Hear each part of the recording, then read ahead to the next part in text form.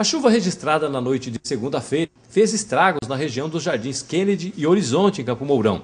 O asfalto da rua Santa Cruz, entre as ruas Belém e Curitiba, cederam e parte foi arrastado com a força da água. Já no final da rua Rocha Pombo, além dos danos no asfalto, esse morador teve o um muro arrancado. A água invadiu as casas do quintal e as famílias ficaram isoladas. Pois é, que veio temporal forte aí, muita boca de lobo entupido. Chegou no final da rua Rocha Pombo aqui, as bocas de lobo não deram conta da água, porque está tudo entupido, tudo cheio de mata, a rua virou aqui que saça pura. E aqui na, no pátio da prainha aqui, onde que está um matagal triste, que até ladrão, bandido pode se esconder aqui com coisa, com coisa roubada e até usar droga, inclusive falar, do lado da minha casa e, e o rapaz ergueu aqui, aterrou a, a, o quintal aqui do lado da prainha aqui e prejudicou o muro aqui. Eu tinha falado para ele, para ele mexer no muro aqui, fazer um, um muro de arrimo aqui que ia prejudicar e estourar aqui, e a erosão ia entrar tudo dentro da minha casa.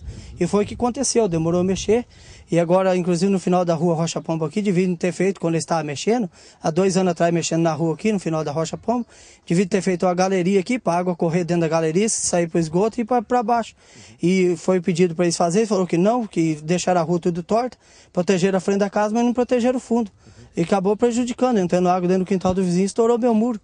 Até Quais foram os seus prejuízos aqui com relação a, a, a, a essa grande enxurrada? É, prejuízo foi do muro, que caiu tudo aí, até inclusive morreu um cachorro hum, afogado na água. Foi muita água que foi que entrou para dentro da casa aqui. Tivemos que estourar o muro por lá debaixo da casa da minha tia para a água poder descer para baixo. Porque senão é perigoso até as crianças da gente morrer afogadas. Foi muita água que desceu para baixo. Agora eles arrumam 10, 15 vezes a rua aqui, não tomam providência, não faz um serviço bom de uma vez só, um serviço honesto que é para fazer uma vez só, fica correndo 5, 6, 7, 8, 10 vezes. Foi pedido asfalto para eles fazerem um pedacinho de asfalto para a gente aqui, eles não, não tomam providência, não faz asfalto. Tivesse feito asfalto ou tivesse feito a galeria, acho que não tinha causado esse prejuízo aí. O morador reclama da falta de infraestrutura para escoar a água da chuva. Do lado de fora, na rua, uma carroça foi arrastada e ficou debaixo das pedras e o lixo. O munícipe pede providências. Arrancou o asfalto, só que desceu só parte da, da, do asfalto da rua, da frente da casa dos outros, não chegou a atingir o quintal meu, que atingiu o quintal porque boca de lobo chegou no final, a água não tinha para onde correr, entrou tudo dentro da minha casa. O que, que você pretende fazer agora? Ah, pretendo tomar providência, ver se tem como, caso a prefeitura dê uma ajuda para a gente aí, para a gente ver o que, que a gente faz com esse quintal aqui, porque não tem condições de ficar assim. Até inclusive o Fábio veio aqui na parte da manhã aqui hoje, e daí disse que daqui dia, dia 20 que vai poder mexer aqui, que trazer uma máquina para arrumar a rua. Isso não pode acontecer. Você acha que a gente é peixe para ficar nadando? Se dá outra chuva dessa aí, causa mais problema ainda.